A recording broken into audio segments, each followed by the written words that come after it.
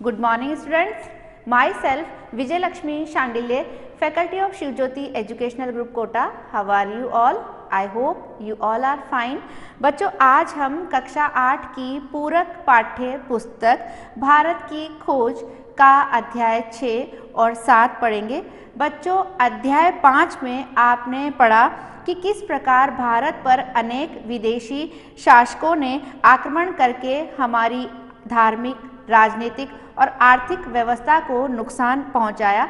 लेकिन बच्चों, ये सभी जो विदेशी आक्रमणकारी थे, इन्होंने कभी हमें अपना गुलाम बनाने की कोशिश नहीं की। लेकिन इन सभी विदेशी आक्रांताओं में अंग्रेज़ों ने तो हमारा आर्थिक शोषण करते करते हमारी पूरी राजनीतिक व्यवस्था को ही अपना गुलाम बना लिया।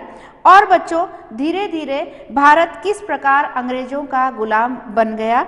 आइए पढ़ते हैं अध्याय छ, अंतिम दौर, भारत राजनीतिक और आर्थिक दृष्टि से पहली बार एक अन्य देश का पुछल्ला बनता है। बच्चों, पुछल्ला का अर्थ होता है पीछे पीछे चलने वाला, यानी कि जैसे ब्रिटिश शासक हमें आदेश देते थे, हमें उनके कहे अनुसार ही कार्य करना पड़ता था, यानी कि उनके पीछे पीछे ही चलना हमारी नियति बन गया था।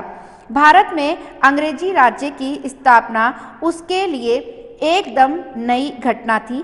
भारत पहले भी जीता जा चुका था, लेकिन ऐसे आक्रमणकारियों द्वारा जो उसकी सीमाओं में आकर बस गए और अपने को भारत के जीवन में शामिल कर लिया।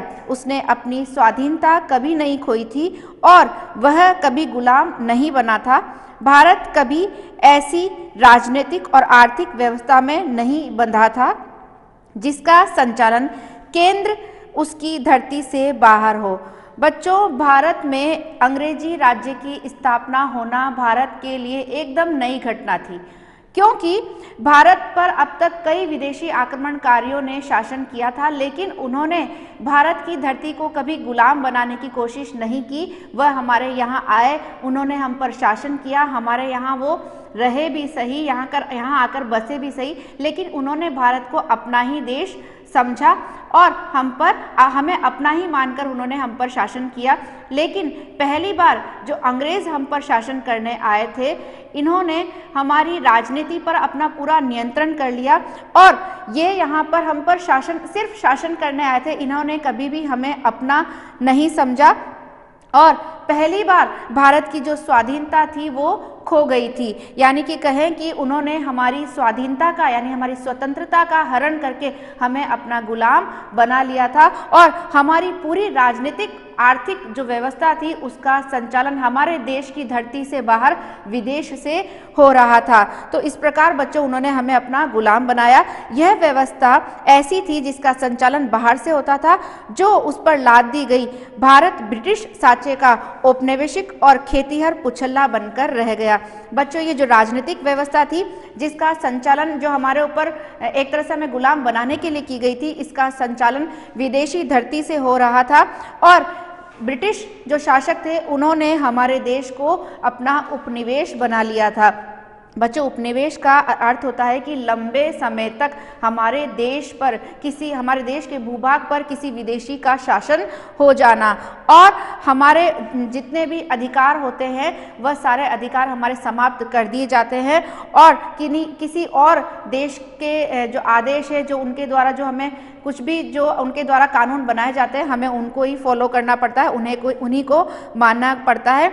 तो देश पर अन्य देश का अधिकार एक तरह से हमारे देश पर किसी अन्य देश का अधिकार हो जाना। बच्चों, सभी अधिकार ब्रिटिश शासकों के हाथ में ही थे और भारतीय जनता अंग्रेज़ों की बात मानने के लिए बाध्य हो गई थी। और हमारे सारे, जो हमारे, उनके जो जितने भी खर्चे थे, वह भी एक तरह से भारतीय जनता के सिर पर ही थे, यानी कि उनका आर्थिक बोझ भी हमें ही उठाना था। भारत में ब्रिटिश शासन के अंतर विरोध राम मोहन राय, बंगाल में अंग्रेज़ी शिक्षा और समाचार पत्र। बच्चों, जब अंग्रेज़ हमारे देश में शासन करने के लिए आए तो व्यक्तिगत रूप से अंग्रेज़ों ने, जिनमें शिक्षाविद, प्राच्य विद्या विशारद, पत्रकार, मिशनरी और अन्य कुछ लोग थे, पाश्चात्य संस्कृति को भारत लाने में इन्हीं लोगों ने महत्वपूर्ण कार्य किया। शिक्षा के प्रसार को नापसंद करने के बावजूद खुद ब्रिटिश सरकार को परिस्थितियों से मजबूर होकर अपनी बढ़ती हुई व्यवस्था के लिए क्लर्कों को प्रशिक्षित करके तैयार करने का प्रबंध करना पड़ा। इसलिए धीरे धीरे शिक्षा का प्रसार होने लगा। धीरे धीरे परिवर्तन होने लगा और आधुनिक चेतना का प्रसार हुआ।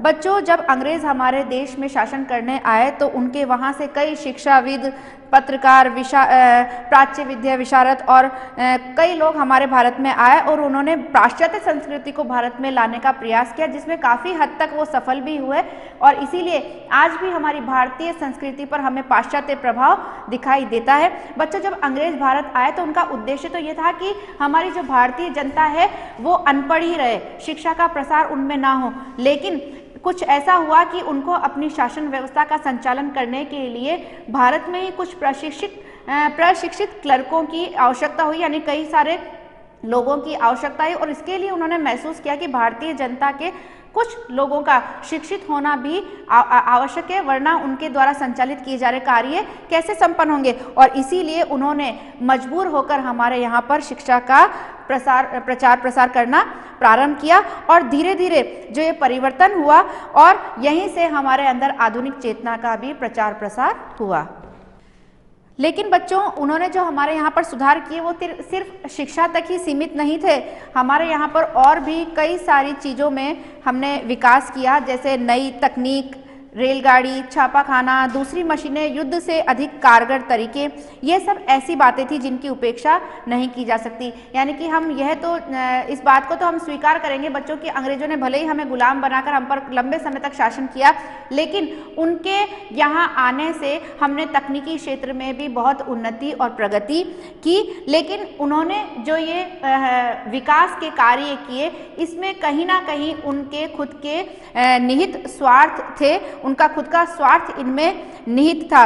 लेकिन बच्चों भारत में तकनीकी क्षेत्र में भारत का विकास होने लगा धीरे धीरे भारत में नई नई तकनीकें आई, शिक्षा का हमारे यहाँ प्रसार होने लगा, लेकिन अभी भी भारत में जो सामाजिक व्यवस्था थी, उसमें सुधार की अत्यधिक आवश्यकता थी, यानी कि सामाजिक दृष्टि से हम बहुत अधिक पिछड़े हुए थे। और सुधार करने के लिए यहाँ भारत में कई नए नए व्यक्ति सामने आए और उन्हीं में से एक व्यक्ति थे राजा राम मोहन राय। अच्छा अठारहवीं शताब्दी में इनका आगमन हुआ। तो राजा राम मोहन राय जो थे, वे एक नए ढंग के व्यक्ति थे, जिनमें प्राचीन और नवीन ज्ञान का मेल था। वे संस्कृत फारसी और अरबी के विद्वान थे। उन्होंने अंग्रेज़ी और पश्चिम के धर्म और संस्कृत के स्रोतों की खोज के लिए ग्रीक, लातिनी और इब्रानी भाषाएँ सीखी। शिक्षा को निकाल, शिक्षा को आधुनिक ढांचे में ढालकर उसे पुरानी पंडिताऊ पंडित पद्धति के चंगुल से निकालने के लिए वे बहुत उत्सुक थे। इन सबसे अधिक बच्चों इन सबसे अधिक जो उनमें सबसे अधिक जो गुण था वह था एक समाज सुधारक का गुण। बच्चों राजा राम मोहन राय जो थे वो एक नए ढंग के ऐसे व्यक्ति थे वो जिन्हें प्राचीन और जो नवीन ज्ञान था उसका उन्हें उन, उन दोनों का उन्होंने मेल करवाया। यानी कि वे चाहते थे कि भारतीय जो लोग हैं वो अपनी प्राचीन भाषा के साथ साथ जो अंग्रेज़ी शिक्षा है, उसका भी पूरा पूरा वो ज्ञान प्राप्त करें और इसके लिए भारत में अंग्रेज़ी शिक्षा का प्रचार और प्रसार आवश्यक समझा गया। उनको स्वयं को भी अनेक भाषाओं का ज्ञान था और प्राचीन शिक्षा बच्चों, उन्होंने प्राचीन शिक्षा को आधुनिक शिक्षा से जोड़ने के लिए पूरा प्रयत्न किया। यानी कि भारत में जो शिक्षा चलाई जा रही थी, वह अभी तक कहते जैसे कहते हैं कि रूढ़ीवादिता से ग्रसित थी। उसमें कहीं ना कहीं ऐसी चीज़ें थी, जिसे शिक्षा में ये सोचा जाता था कि लड़कियों को शिक्षा नहीं मिलनी चाहिए, जो दलित वर्ग है उनको शिक्षा नहीं मिलनी चाहिए। और भी कई सारे ऐसी बातें थी, जो कि आधुनिक शिक्षा से हमें बहुत दूर करती थी। तो इसीलिए उनका ये मानना था कि भारत की जो प्राचीन शिक्षा है, उसका आधुनिक शिक्षा से मेल करवाना अत्यंत आवश्यक है। इसके साथ साथ उन्होंने समाज सुधार के भी कई कार्य किए। उन्होंने हमारी धार्मिक कुरूतियों का विरोध किया और साथ ही साथ उन्हीं के प्रयास से ब्रिटिश सरकार ने सती प्रथा पर रोक लगाया। अठारह की महान क्रांति, जातीयतावाद। बच्चों, अठारह सौ सत्तावन की जो क्रांति थी, वह हमारे भारत का पहला स्वतंत्रता संग्राम था। लेकिन कई ऐसे कारण रहे, जिसके कारण हमारे भारत का पहला स्वतंत्रता संग्राम असफल हुआ। मई सन अठारह में मेरठ की भारतीय सेना ने बगावत कर दी। विद्रोह की योजना खुफिया ढंग से बहुत अच्छी तरह बनाई गई थी, लेकिन नियत समय से पहले हुए विस्फोट ने नेताओं की योजना ही बिगाड़ दी। बच्चों, जैसा कि आपने इतिहास में पढ़ा होगा, अठारह की जो क्रांति थी, इसकी शुरुआत मेरठ में बैरकपुर की छावनी में सैनिकों के विद्रोह से हुई थी और इस पहली, ये जो क्रांति हुई थी, इसका कारण था कारतूस वाली घटना, यानी कि इस अठारह के स्वतंत्रता संग्राम की शुरुआत, जो मेरठ के बैरकपुर में सबसे पहले हुई, इसका कारण रहा वहाँ पर अंग्रेज़ों द्वारा सैनिकों को जो कारतूस दिए जाते थे, उस पर जो चर्बी लगी होती थी, वो जानवरों की चर्बी होती थी, सुअर और गाय की चर्बी का प्रयोग किया जाता था, और सैनिकों को उसे मुँह से काट कर फिर उसको प्रयोग में लाना होता था, उसको कारतूस को तो वहाँ पर उनकी धार्मिक भावना को ठेस पहुँच रही थी इससे। यानी कि उनका उनका ये मानना था कि उनका धर्म इससे नष्ट हो रहा है, क्योंकि हिंदू थे सेना सेना में हिंदू भी थे, मुस्लिम भी थे तो उनकी धार्मिक भावना इससे कहीं ना कहीं आहत हो रही थी। इसीलिए उन्होंने विद्रोह कर दिया कि हम इन कारतूसों का प्रयोग नहीं करेंगे। इसीलिए अठारह सौ सत्तावन की क्रांति का प्रारंभ मेरठ में बैरकपुर की छावनी से सबसे पहले शुरू हुआ और मंगल पांडे जो सैनिक थे, उन्होंने सबसे पहले इस क्रांति को वहाँ पर प्रारंभ किया। बच्चों, ये क्रांति जो, इसकी जो योजना बनाई गई थी, वो बहुत ही खुफिया खुफिया का अर्थ होता है गुप्त तरीके से। बहुत ही गुप्त तरीके से इसकी योजना बनाई गई थी, लेकिन यह जो क्रांति थी, ये जो तारीख निश्चित की गई थी, जो डेट फिक्स की गई थी, उससे पहले ही प्रारंभ हो गई। अचानक से बैरकपुर के सैनिकों ने विद्रोह कर दिया। इसलिए नियत तिथि से पहले, यानी कि जो तारीख निश्चित की गई थी, उससे पहले ही ये क्रांति प्रारंभ हो गई। और इसके कारण जो विद्रोही थे, उनमें कहीं ना कहीं एकता का अभाव रहा। यानी कि सब जगह जो भारत के जितने भी इलाके थे, जहाँ पर इस क्रांति को शुरू होना था, लेकिन कहीं ना कहीं उनमें एकता का अभाव रहा और इसीलिए ये क्रांति असफल हो गई। अंततः इसका दमन कर दिया गया। बच्चों, ये जो पहला भारत का स्वतंत्रता संग्राम था, जो कि अठारह सौ सत्तावन में किया गया इस ये एक ऐसी क्रांति थी जिसने वास्तव में अंग्रेज़ सरकार के एक तरह से होश उड़ा दिए थे। लेकिन फिर भी कहीं ना कहीं हमारे जो भारतीय लोग थे, उनमें कहीं ना कहीं एकता की कमी रही कि अंग्रेज़ सरकार द्वारा इस क्रांति का दमन कर दिया गया।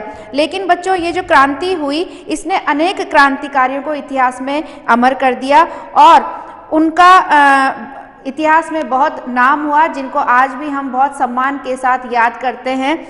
जैसे कि तात्या टोपे।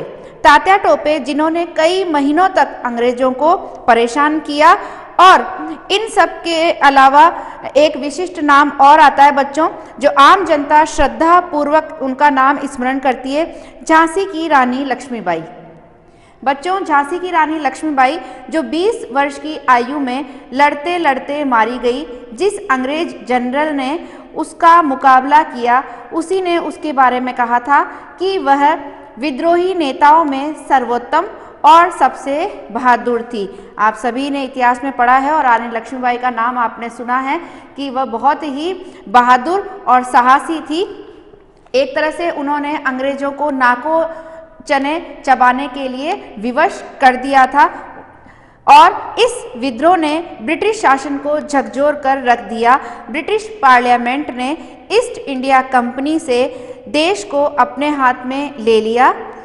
बच्चों, ये जो क्रांति थी, इस क्रांति ने एक तरह से पूरे ब्रिटिश साम्राज्य को झकझोर कर रख दिया था और इसके परिणाम स्वरूप ये हुआ कि जो ईस्ट इंडिया कंपनी थी, उसका ब्रिटिश पार्लियामेंट ने ईस्ट इंडिया कंपनी का शासन समाप्त कर दिया और ब्रिटेन की जो रानी थी, जो वहाँ की महारानी थी, पूरा शासन तंत्र उसने अपने हाथ में ले लिया। यानी कि अब भारत पर सीधा सीधा जो शासन था, वो ब्रिटेन के राजतंत्र का हो गया था। हिंदुओं और मुसलमानों में सुधारवादी और दूसरे आंदोलन। हिंदू धर्म के कुछ सामाजिक रीति रिवाजों से हिंदू धर्म के कुछ सामाजिक रीति रिवाजों से खिन्न होकर बहुत से हिंदू ईसाई धर्म की ओर आकर्षित हुए और बंगाल में कुछ प्रसिद्ध व्यक्तियों ने भी धर्म परिवर्तन कर लिया। राजा राम मोहन राय ने हिंदू ब्रह्म समाज की स्थापना समाज सुधारवादी आधार पर की। बच्चों, जब अंग्रेज़ों का भारत में आगमन हुआ तो उनके आगमन का प्रभाव हमारे यहाँ पर धर्म पर भी उनके आग उनके विचारों का प्रभाव पड़ा, यानी कि अंग्रेज़ों के आगमन के परिणाम स्वरूप हमारे हिंदू धर्म और मुस्लिम धर्म पर भी उनके विचारों का प्रभाव पड़ने लगा। और हमारे हिंदू धर्म के जो रूढ़ीवादी रीति रिवाज थे, उनमें कहीं ना कहीं परिवर्तन होने लगा या कहें कि परिवर्तन की आवश्यकता महसूस की गई। तो इसीलिए हमारे कई हिंदू जो लोग थे, वो धीरे धीरे अंग्रेज़ों का जो धर्म था, यानी ईसाई धर्म जो था धीरे धीरे उसकी तरफ़ आकर्षित होने लगे और कई हिंदुओं ने ईसाई धर्म ग्रहण कर लिया। और राजा राम मोहन राय जो थे, उन्होंने भी हिंदू धर्म की जो रूढ़ीवादी परंपराएँ थी, उनमें सुधार के लिए उन्होंने ब्रह्म समाज की स्थापना की, जिसका उद्देश्य ही सब एक तरह से कहें कि समाज सुधारवादी उनका उद्देश्य था। जो स्वामी दयानंद सरस्वती ने जो सुधारवादी आंदोलन प्रारंभ किया, यह आर्य समाज का आंदोलन था और नारा था वेदों की ओर लोटो। यानी कि स्वामी दयानंद सरस्वती जी ने समाज सुधार के उद्देश्य से आर्य समाज की स्थापना की और उनका प्रमुख नारा था कि हमें अपने भारतीयों को अपनी प्राचीन परंपराओं, यानी कि जो वेदों से संबंधित जो परंपराएँ हैं, उनकी तरफ़ फिर से लौटना चाहिए। और उन्होंने समाज सुधार के भी कई कार्य किए, जैसे लड़के लड़कियों में समान रूप से शिक्षा के प्रसार में स्त्रियों की स्थिति का सुधार करने में और दलित जातियों के स्तर को ऊँचा उठाने में इन्होंने बहुत अच्छा काम किया। बच्चों, स्वामी दयानंद सरस्वती ने समाज सुधार के अनेक कार्य किए। उन्हीं में से जैसे था कि उनका ये मानना था कि लड़कियों को भी लड़कों के समान शिक्षा प्राप्त करने का अधिकार होना चाहिए और उन्होंने स्त्रियों की स्थिति को सुधारने के लिए भी अनेक प्रयास किए। साथ ही साथ उन्होंने जो दलित वर्ग था जो अछूत वर्ग था जिन्हें हमारे भारतीय समाज में कई अधिकारों से वंचित रखा गया था उन्हें शिक्षा के अधिकार से भी वंचित रखा गया था तो उनका ये मानना है कि दलितों को भी ए, समान अधिकार समाज में मिलने चाहिए उन्हें हीन दृष्टि से नहीं देखा जाना चाहिए ऐसा उनका मानना था। लगभग स्वामी दयानंद के समय में ही बंगाल में एक दूसरे ढंग का व्यक्तित्व सामने आया। वे रामकृष्ण परमहंस थे। वे धार्मिक थे और साथ ही बहुत उदार थे। वे हर तरह की सांप्रदायिकता के विरोधी थे। उन्होंने इस बात पर बल दिया कि सभी मार्ग सत्य की ओर जाते हैं। बच्चों स्वामी दयानंद सरस्वती के बाद में जो एक अन्य व्यक्ति जो भारत के समाज सुधार के उद्देश्य से जिनका आगमन हुआ, उनमें प्रमुख नाम है श्री रामकृष्ण परमहंस का। बच्चों, श्री रामकृष्ण परमहंस जो थे, वे बहुत धार्मिक थे, लेकिन धार्मिक होने के साथ साथ जो उनके विचार थे, वो उदारवादी थे। यानी कि वो धर्म को लेकर कट्टर नहीं थे। एक तरह से वो कहें कि धर्म के प्रति उनका जो दृष्टिकोण था, वो बहुत ही सहिष्णुता का था। यानी कि वह जो धर्म से संबंधित जो रूढ़ीवादी और रीति रिवाज होते हैं, जो अंधविश्वास होते हैं, उनके वे विरोधी थे और उन्होंने इस बात पर बल दिया कि जितने भी धर्म हैं, वो सभी हमें एक ही बात सिखाते हैं या हमें एक ही तरफ़ ले जाते हैं और वह है सत्य का मार्ग। यानी कि उनका ये कहना था कि हमें कभी भी धार्मिक बंधनों में बंध कर किसी गलत कार्य को नहीं करना चाहिए या गलत कार्य में किसी का साथ नहीं देना चाहिए, क्योंकि धर्म हमें सत्य का मार्ग दिखाता है। बच्चों, इसी प्रकार एक अन्य समाज सुधारक थे विवेकानंद। विवेकानंद ने अपने गुरु भाइयों के संयोग से रामकृष्ण मिशन की स्थापना की, जिसमें सांप्रदायिकता नहीं थी। विवेकानंद के पास अतीत का आधार था और उन्हें भारत की विरासत पर गर्व था। फिर भी जीवन की समस्याओं के प्रति उनका दृष्टिकोण आधुनिक था। बच्चों विवेकानंद जो थे वह भी रामकृष्ण मिशन रामकृष्ण जो परमहंस थे उनके शिष्य थे और इन्होंने अपने गुरु भाइयों के संयोग से रामकृष्ण मिशन की स्थापना की। ये उनके प्रमुख शिष्यों में से थे और ये भी धार्मिक भेदभाव से परे थे। यानी कि इनका मानना था कि हमें धार्मिक रूप से बहुत ही सहिष्णु होना चाहिए और विवेकानंद जो थे वो भारतीय भा, भारत की जो प्राचीन परंपराएँ जो थी, उन परंपराओं को वो आधुनिकता से जोड़ना चाहते थे। यानी कि वह विचारों से आधुनिक भी थे, लेकिन भारत की जो प्राचीन परंपराएँ थी, उनका भी वह पूरी तरह से सम्मान करते थे और उनका ये मानना था कि कहीं ना कहीं भारतीय परंपराओं में रीति रिवाजों में, धर्म में कहीं ना कहीं रूढ़ीवादिता है, अंधविश्वास है तो हमें इन बुराइयों से बाहर निकलकर भारत की प्राचीन परंपराओं को आधुनिकता से जोड़ना चाहिए। और इसीलिए उनका जो दृष्टिकोण था, वो बहुत ही आधुनिक था। वह भारत के अतीत और वर्तमान के बीच एक तरह के सेतु थे। वे बंगला और अंग्रेज़ी के ओजस्वी वक्ता थे और बंगला गद्य और ललित कविता के लेखक थे। वे सुंदर व्यक्तित्व के धनी थे, रोबिले, शालीन और गरिमावान। बच्चों, उन्होंने एक तरह से कहें कि भारत के अतीत और वर्तमान के बीच तालमेल बैठाने की पूरी पूरी कोशिश की और उनका व्यक्तित्व भी बहुत आकर्षक था और इसीलिए वह लोगों को अपनी और अपने विचारों की ओर आकर्षित करने में सफल भी हुए। उनमें भारत को आगे बढ़ाने की गहरी लगन थी। अठारह सौ तिरानवे ईस्वी में उन्होंने शिकागो में अंतर्राष्ट्रीय धर्म सम्मेलन में भाग लिया और भारत को प्राचीन रूढ़ियों से बाहर निकालकर आगे बढ़ाने की जो उनकी कोशिश थी, उसमें उन्होंने, उसके लिए उन्होंने कई कार्य भी किए। उन्होंने एकेश्वरवाद का उपदेश दिया। उनके अनुसार वर्ण व्यवस्था एक तरह की सामाजिक व्यवस्था है, जो धर्म से अलग थी और उसे अलग ही रहना चाहिए। विवेकानंद ने कर्मकांड के निरर्थक तात्विक विवेचनों और तर्कों की घोर निंदा की, विशेषकर ऊँची जाति की छुआछूत की।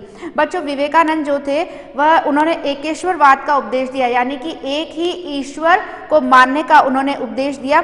साथ ही साथ हमारे प्राचीन भारतीय समाज में बच्चों, वर्ण व्यवस्था व्याप्त थी।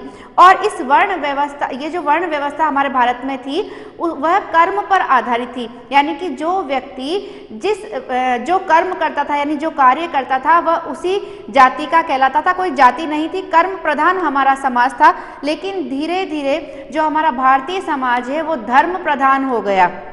और विवेकानंद का स्वामी दयानंद सरस्वती का यही कहना था कि भारतीय समाज को वर्ण व्यवस्था पर ही आधारित होना चाहिए। हमारी सामाजिक जो व्यवस्था है, वो वर्ण व्यवस्था पर आधारित होनी चाहिए और जो वर्ण व्यवस्था है वह धर्म से अलग ही होनी चाहिए। इसको धर्म से नहीं मिलाना चाहिए। क्योंकि जब हमारे भारत की सामाजिक व्यवस्था धर्म प्रधान हो गई तो इसमें कर्म का कहीं कोई स्थान नहीं रहा। चाहे कोई ब्राह्मण का ब्राह्मण का पुत्र है, लेकिन अगर वो कर्म, उसका वैश्य वैश्य कर्म कर रहा है या क्षत्रिय कोई कार्य कर रहा है, सैनिक सैनिक वह सैनिक, सेना में सैनिक है, लेकिन वो कहलाएगा ब्राह्मणी। लेकिन प्राचीन काल में कार्य के आधार पर उसके वर्ण का निर्धारण किया जाता था तो उनका यही मानना था कि जो सामाजिक व्यवस्था है, वो वर्ण पर ही आधारित होनी चाहिए। इसके साथ साथ उन्होंने जाति पाति में जो छुआछूत और अंधविश्वास की जो भावनाएँ हैं, उनका भी उन्होंने घोर विरोध किया। सन 1902 में उनतालीस वर्ष की आयु में उनकी मृत्यु हो गई। बच्चों, सन 1902 में स्वामी दयानंद सरस्वती की बहुत ही अल्पायु में, यानी कि उनकी आयु अधिक नहीं थी, बहुत कम उम्र में ही उनकी मृत्यु हो गई।